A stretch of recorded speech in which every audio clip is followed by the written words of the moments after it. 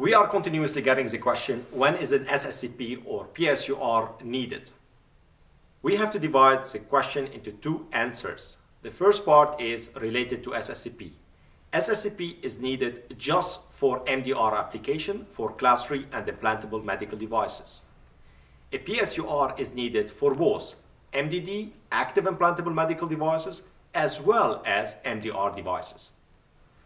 The timeline for submission for PSURs is different between MDD and MDR devices. The timeline starts for MDD devices from date of application because this is where the requirement of the MDR starts.